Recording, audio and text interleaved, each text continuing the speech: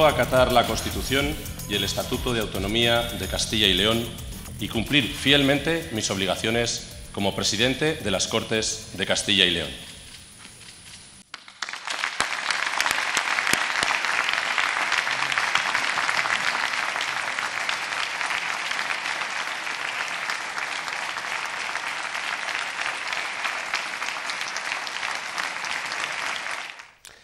Hola, ¿qué tal? Muy buenas noches. Ángel Ibáñez es el nuevo presidente de las Cortes de Castilla y León. Ayer, como acaban de escuchar y ver, juraba su cargo y presidía su primer y penúltimo pleno. Muy buenas noches. Buenas noches. No sé si en algún momento se le había pasado por la cabeza que, que iba a llegar a ser presidente de las Cortes y segunda autoridad de la, de la comunidad. Pues siendo sincero, la verdad es que no. No se me había pasado por la cabeza. Bueno, eh, la, lo primero, faltaban solamente dos plenos. Eh, algunos eh, preguntaban, bueno, ¿qué problema hubiera habido con que el anterior presidente, presidente en funciones, Ramiro Ruiz Medrano, siguiese con esos dos plenos? ¿Por qué este cambio? Bueno, yo creo que hay que englobarlo todo dentro de lo que tiene que ser una dinámica según la cual la institución esté presidida por la normalidad en el desarrollo de sus funciones. Lo normal es que haya un presidente al frente de, la institución y que pueda desarrollar las labores no solamente para el final de la legislatura, sino también durante todo el tiempo que en funciones eh, se está, en caso de que sea necesario, la convocatoria y desarrollo de la Diputación Permanente, que es el órgano que gestiona la Cámara en periodos electorales como el que nos encontramos. Y yo creo que la decisión es acertada para darle esa normalidad y estabilidad a la institución que merecía, sin duda. Eso demuestra que también es usted uno de los hombres fuertes de Alfonso Fernández Mañueco, presidente del Partido Popular y candidato del PP a la Junta. ¿Qué trato tiene con él? Yo creo que somos muchas las personas que confiamos, creemos en la capacidad de liderazgo de Alfonso Fernández Mañueco y que por suerte dispone de un banquillo muy amplio en el que poder confiar una responsabilidad como la que en este caso he tenido el privilegio de, de desarrollar desde el día de hoy. Eh, a partir de ahí, pues eh, evidentemente el trato con eh, el presidente de nuestro grupo parlamentario es un trato muy bueno, muy cercano, es una persona afable, cordial, sensata y evidentemente solo puedo tener palabras de agradecimiento por haberme dado este, este honor. ¿Eso significa que Ángel Ibáñez va a ir de número uno a, a las Cortes por Burgos, un cargo que, por cierto, ha ocupado Juan Vicente Herrera desde el año 95, 24 años. Sí, la verdad es que yo creo que hay que saber separar perfectamente lo que es una responsabilidad institucional vinculada a un cargo público como el que ahora tenemos como representantes, procuradores por nuestras circunscripciones electorales, y otra cosa es la dinámica que lleva el propio partido en la que tendrá que en unas semanas tomar decisiones al respecto de quién eh, son las personas idóneas en conformar esas candidaturas en toda la comunidad. Por tanto, nos ocupa ahora mismo el camino que estamos desde el punto de vista institucional y el otro eh, tendrá que decidirse en el momento oportuno.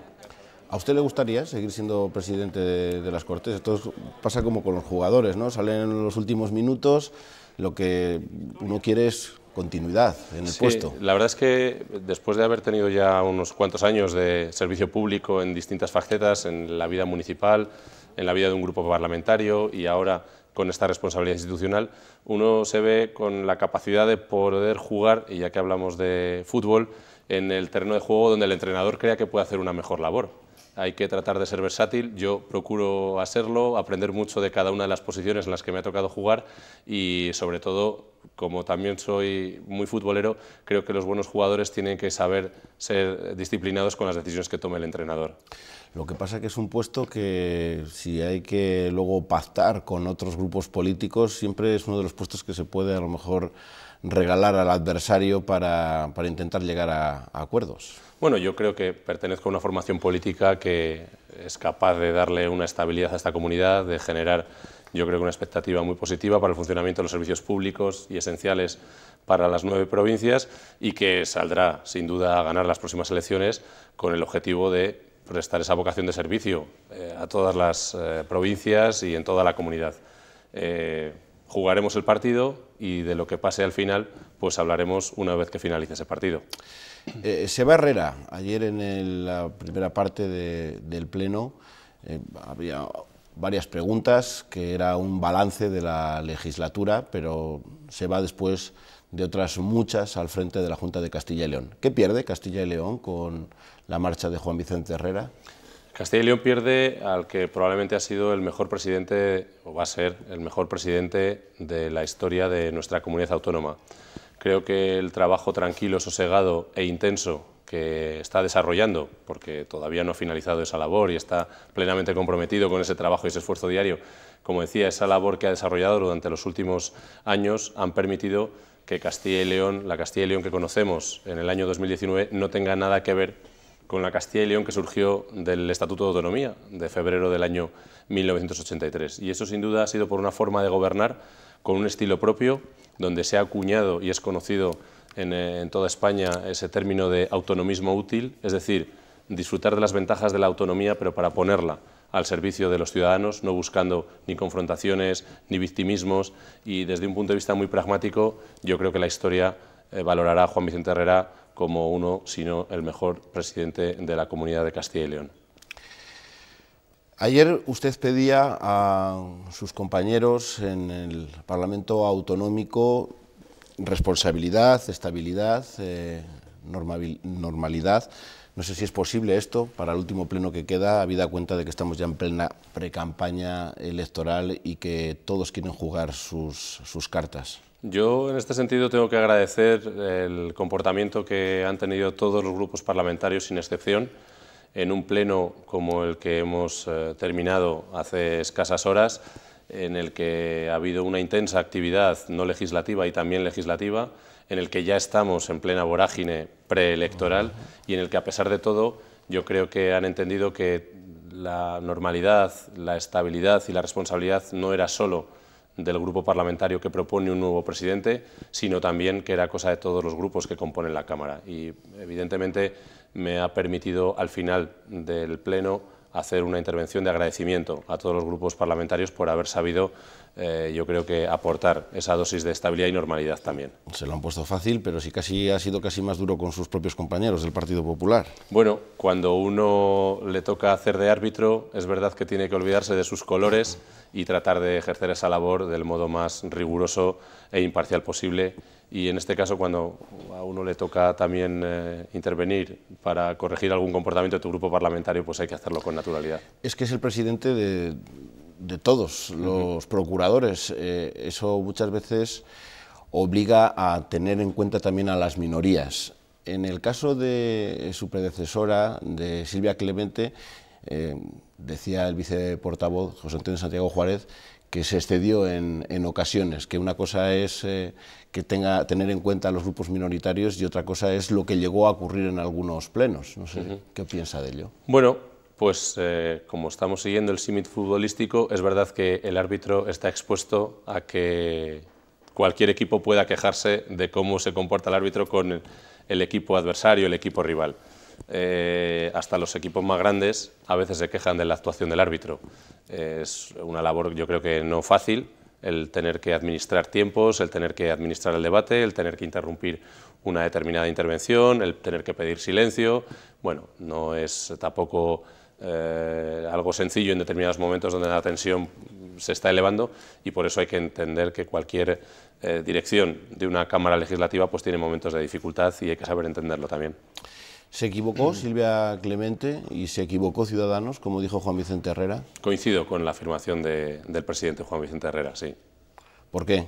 ¿Por qué cree que es una equivocación por parte de, de, los dos? Es decir, no le ha gustado las explicaciones que dio una ni las explicaciones que dio bueno, pues eh, yo que procedo del, del mundo de la ciencia, soy químico de formación, eh, el empirismo es lo que permite que a partir de unos hechos comprobados conozcas unos resultados y así se acrediten.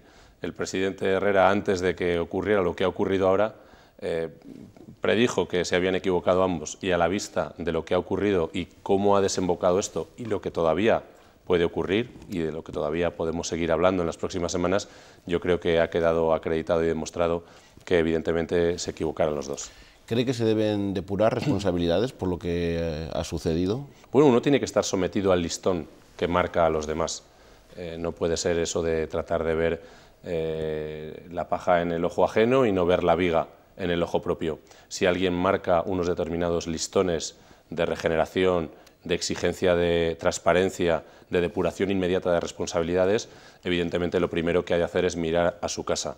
En la formación política Ciudadanos, yo creo que lo que ha acontecido es uno de los hechos más graves en la historia reciente de nuestra comunidad y además ha ocurrido en el seno de una organización que presume de esos estándares de transparencia, de limpieza y de regeneración. Por tanto, no me cabe ninguna duda de que investigarán todo lo necesario y que depurarán todas las responsabilidades necesarias, incluso las judiciales que podrían eh, derivarse de lo que presuntamente parece que ha ocurrido con eh, todo el tema de las votaciones en las primarias. Bueno, dejamos a Silvia Clemente porque hoy el protagonista es, es usted. Los burgaleses le conocen bien, ya que a pesar de su juventud formó parte ya del equipo del ayuntamiento desde el año 2003, creo. Desde junio de 2003, junio de 2003. Pero el resto sabemos muy poco. ¿Quién es Ángel Ibáñez? Nació en Burgos en 1974, allí se licenció en Ciencias Químicas y allí obtuvo la plaza para dirigir la unidad de empleo de la Universidad Pública. También en su ciudad natal dio el salto a la política. Le afilié yo al, Partido Popular, es una persona que conocía del ámbito universitario. Juntos trabajaron en el PP de Burgos y el Ayuntamiento de la ciudad, codo con codo. De hecho, Javier Lacalle le convirtió en su mano derecha en 2011 como vicealcalde y portavoz. Cuatro años después, Juan Vicente Herrera le incorporaba en las listas para las autonómicas y en 2015 aterrizaba en las Cortes de Castilla y León. En la Cámara ha defendido el plan de reindustrialización del entorno de Garoña, el impuesto medioambiental a la central nuclear, el desvío de camiones de la Nacional 1 a la AP1 o la ordenación del territorio. Como todo itinerario que nos hemos dado Partido Socialista y Partido Popular en la aprobación de la ordenación del territorio. Por tanto, el tema está en nuestras manos. También ha sido portavoz en la Comisión de la Presidencia, vocal en la Comisión del Estatuto y miembro de la Comisión de Investigación del Hospital de Burgos. Elegir el modelo ha significado poder invertir 1.624 millones de euros en ese plan de infraestructuras. Como viceportavoz del Grupo Parlamentario Popular ha participado en las juntas de portavoces, ha viajado al corazón de Europa para ayudar a visibilizar el problema de la despoblación y ha trabajado por dar pasos en la memoria histórica. Es un hombre joven, bien preparado, culto, muy dialogante, con un espíritu nuevo. Hay que pensar que nació en el 74. A sus 44 años está casado y es padre de dos niñas. Yo creo que esa vivencia familiar, esa, esa vivencia de amistad, que siempre ha tenido muy claro, creo que es uno de los grandes valores de Ángel Ibáñez. Sus amigos le definen como persona leal, un hombre normal, sencillo y amigo de sus amigos. Bueno, normalmente los amigos hablan bien de uno. Sí, desde luego que sí. Me voy a ruborizar un poco con estas cosas que se han dicho. No sé si quiere añadir algo o alguna cosa que nos haya faltado de, ese perfil que, le hemos hecho. No sé si ha faltado alguna cosa, al menos en su, en su carrera política. Yo creo que eh, está prácticamente todo dicho. Es probablemente difícil condensar muchos años de vocación de servicio público, en este caso en el ayuntamiento y ahora en las Cortes, pero me parece que el resumen ha sido fantástico. Eh, es difícil encontrar a alguien que le preguntes qué es, si es de Burgos y que no diga soy de Burgos y de Gamonal. Hasta el propio Luis Tudanca, que también dice que es de Gamonal. Creo que usted también, bueno, es Gamonal mm, cerquita. Yo, yo me siento muy orgulloso. Siempre he tenido a gala ponerlo de manifiesto y eh, nací en el seno de una familia humilde. Mi padre es un maestro industrial ajustador en una fábrica ya jubilado, eh, que se dedicaba a hacer eh, botellas de vidrio. Y he conocido pues, lo que son los orígenes de una familia normal en la que eh, se trataron de inculcarme valores como la lealtad, el esfuerzo, la ayuda en la familia, el compromiso con tus amigos y a partir de ahí, bueno, pues esos fueron mis iniciales orígenes y, y lo fueron en el barrio de Gamonal, en Burgos. Es dura la política municipal, incluso más que la, que la, que la regional. Lo digo porque hablábamos de Gamonal, a usted le tocó, creo que ser el portavoz del ayuntamiento, a hablar con los vecinos cuando eh, se quiso hacer ese bulevar con, con todos los conflictos que, eh, que, hubo allí. Sí, yo en esto coincido con una de las citas que solía decir el expresidente Rajoy, una de las cabezas más privilegiadas que creo que ha tenido este país eh, al frente del gobierno eh, que solía decir que cualquier político que quiera llegar a desempeñar altas responsabilidades no debería de dejar de eh, tener alguna en el ámbito municipal, municipal provincial, porque es en la política cercana, cuando te encuentras todos los días con tus vecinos, con quien te va a exigir que mejores sus eh, servicios, con quien va a pedirte que arregles su acera, eh, que cambies los columpios, que mejores el jardín, la limpieza. Cuando tienes que bregarte a ese nivel es cuando te das cuenta de cómo tu capacidad de actuación va a poder influir en la mejora de la vida de esas personas que te rodean porque a veces otros niveles de la Administración, que no digo que sean muy necesarios y muy importantes y donde hay que saber también gestionar, están un poco más alejados de ese plano de, la cercanía al, vecino y por tanto creo que la vida municipal es la más complicada de lo que yo conozco hasta ahora, también es de las que más satisfacciones te puede dar una vez que ves que lo que has desarrollado, elegido y gestionado pues evidentemente se ejecuta y acaba generando un beneficio para la población a la que te estás dirigiendo. ¿Le hubiese gustado ser el alcalde de Burgos? Bueno, eh, yo creo que por suerte los dos últimos alcaldes que hemos tenido en Burgos desde el año 2003 son, aparte de amigos personales, dos magníficos alcaldes. La ciudad de Burgos desde el año 2003 al año 2019 ha dado un giro copernicano completamente. No hay quien sea capaz de reconocer la calidad de vida que tiene la ciudad de Burgos y además acreditado en función de estudios estadísticos que así lo han valorado y que eh, ponen de manifiesto cómo Burgos es eh, una de las capitales o la capital de provincia de Castilla y León con mayor nivel de calidad de vida. Y eso se debe a dos grandes alcaldes como han sido Juan Carlos Aparicio y Javier Lacalle. Por tanto, me quedo con esa reflexión. Eh, su vida política ha sido muy paralela también con la de Javier Lacalle.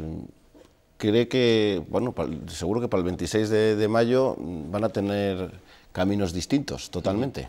Bueno, eh, yo creo que es público y notorio que entré en política de la mano de Javier, como él ha puesto de manifiesto.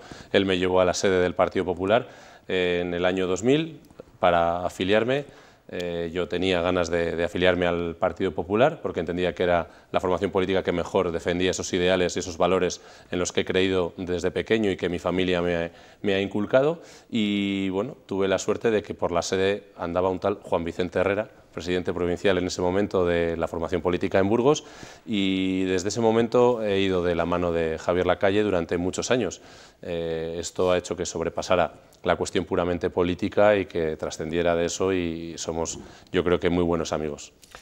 Ya ha dicho usted que es eh, químico, no sé si le va a servir para en su nuevo puesto poder, poder unir los elementos para conseguir políticos nobles.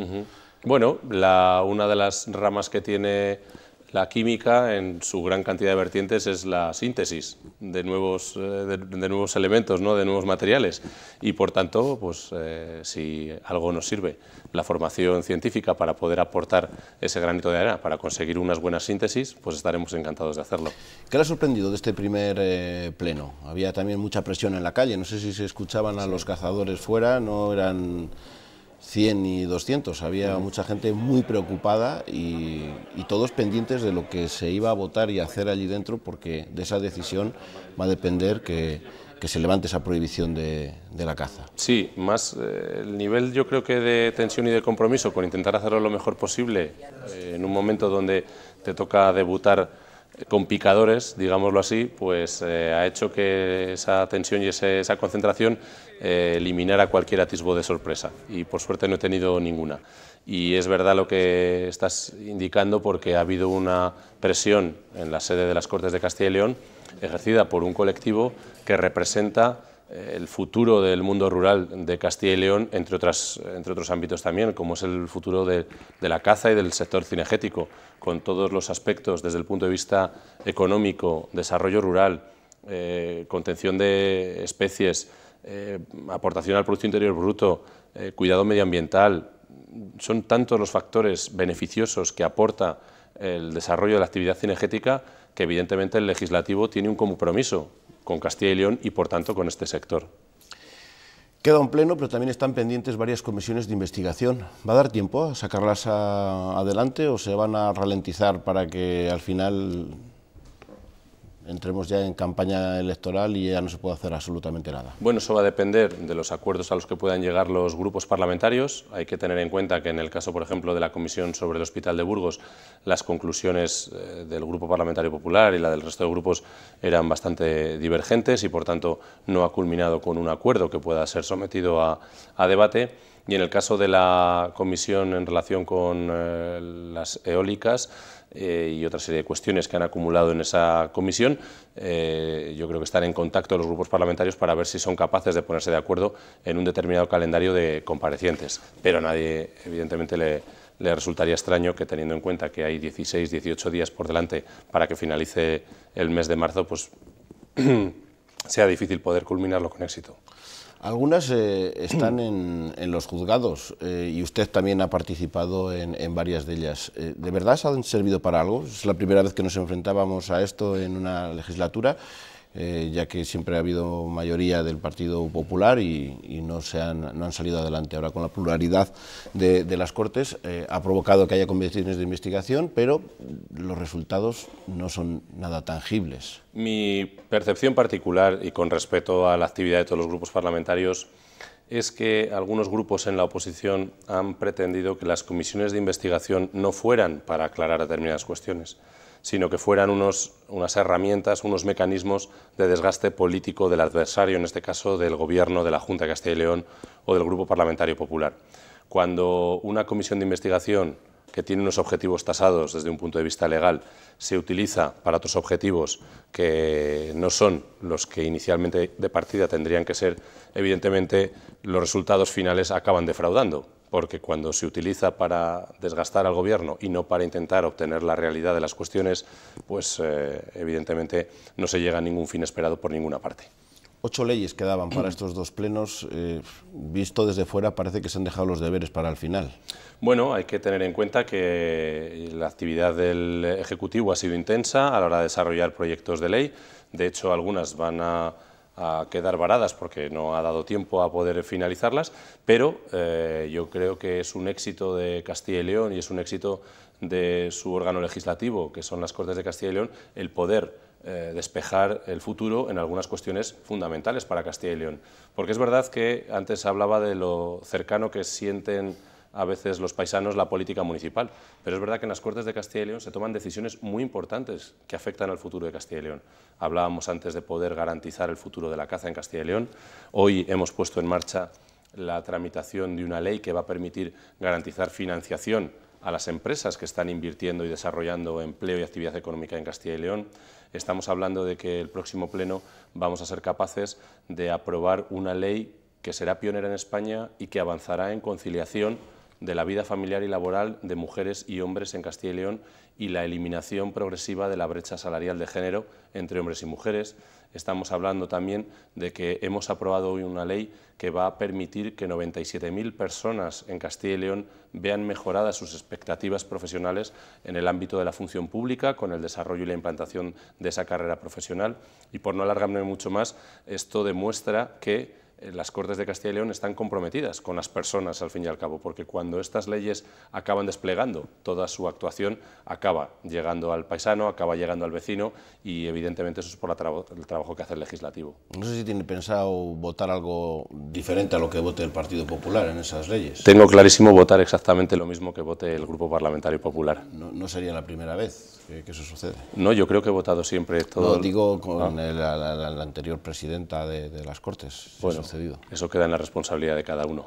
Usted ha dicho en su discurso también que lo que quiere es abrir eh, las Cortes a, los ciudadanos. ¿Cómo lo va a hacer? También su predecesora lo, lo intentó. No sé si también tiene previsto mantener esas exposiciones y todas esas cosas que se estaban haciendo en las Cortes o cuál es el camino que quiere emprender para que sea la casa de todos, que es así, pero que al, menos los ciudadanos así lo vean. Creo que en vez de conseguir que Mahoma vaya a la montaña, es mejor que la montaña a veces vaya a Mahoma. Es decir, es un edificio magnífico, extraordinario. Las Cortes de Castilla y León es imponente.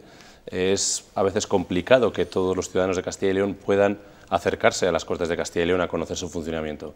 Pero es verdad que la responsabilidad de la presidencia puede pasar por acercarse a cada rincón de Castilla y León y explicar lo que son las Cortes de Castilla y León, dar a conocer cuál es nuestra actividad, a veces desconocida, eh, poder compartir con los paisanos de todas las provincias de Castilla y León a qué nos dedicamos en las Cortes de Castilla y León, para que sepan que el poder legislativo es un arma esencial para configurar nuestra democracia y para poder ejecutar políticas públicas. Y eso es una labor que perfectamente se puede hacer desde, la presidencia de las Cortes de Castilla y León y ahí está mi compromiso durante, mientras dure mi mandato de poder implicarme de lleno para poder acudir allí donde se me reclame como presidente de las Cortes de Castilla y León a poder poner en valor esta importantísima institución de nuestra comunidad.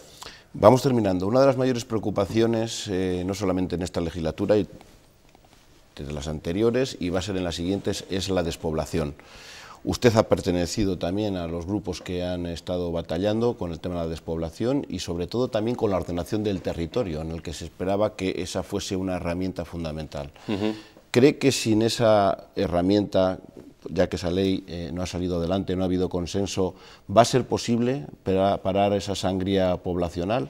Yo creo que en Castilla y León hemos tenido una de las posibilidades más importantes para incidir en el ámbito de la despoblación, que era culminar todo el proceso de ordenación del territorio. Porque quiero recordar que la última de las leyes, que ha quedado varada, que no ha podido aprobarse porque requería de un consenso entre Partido Popular y Partido Socialista eh, para alcanzar un mínimo a partir del cual se podía aprobar esa ley en función de los condicionantes que se habían marcado, ha sido una pena no poder culminarlo, porque esa ordenación del territorio, esa última ley, permitía garantizar los servicios públicos esenciales en todo Castilla y León, independientemente del tamaño de cada una de las poblaciones. Todos los expertos coinciden en que garantizar los servicios básicos, la sanidad, la educación, la atención a la dependencia, los servicios sociales, en todos y cada uno de los 2.248 municipios de Castilla y León es esencial para que la gente pueda fijar población, empleo y actividad económica. Y como ha sido una pena no conseguirlo, eh, yo creo que esto tiene que ser un objetivo de seriedad y responsabilidad de todos los grupos políticos para poder desatascarlo en la próxima legislatura. 23 de abril, fiesta de la comunidad, está ya a la vuelta de la esquina, usted va a ser presidente, es el máximo responsable de la Fundación Villalar, que se encarga de los, de los principales actos que se celebran en, la campa de Villalar. ¿Hay alguna novedad? ¿Puede adelantar algo? No sé si le ha dado tiempo a pensar que también va a tener que cuidar esa fiesta, una fiesta de todos los castellanos y leoneses y que tampoco se entiende así en todas las provincias. Efectivamente, yo creo que es una fiesta referente en nuestra comunidad autónoma y estoy comprometido con ella. Tendré la posibilidad de eh, estar y aunque no tengo intención de generar demasiados sobresaltos durante mi etapa como presidente de las Cortes de Castilla y León, sí que estamos trabajando en alguna novedad que yo creo que puede ser significativa mm, para poner en valor que la comunidad la componemos nueve provincias y que todas tienen, eh, yo creo el derecho y también la responsabilidad de sentirse miembros de este proyecto común eh, tan hermoso que es Castilla y León. Lo de la conciencia regional ya sabe que es bastante complicado. Lo sé, por eso trataremos de presentar alguna iniciativa que permita construir comunidad a través de alguna fórmula cultural que probablemente en próximos días podremos avanzar. Ángel Ibáñez, presidente de las Cortes de Castilla y León, muchísimas gracias por este tiempo, por la entrevista y mucha suerte. Ha sido un honor, un placer compartir esta primera entrevista como presidente de las Cortes de Castilla y León en esta casa. Un lujo y bueno, gracias por ese deseo y trataremos de hacerlo lo mejor posible. Pues muchísimas gracias, gracias. lo dicho. Y a ustedes también, gracias por estar ahí. Volvemos el próximo miércoles. Pasen una buena semana.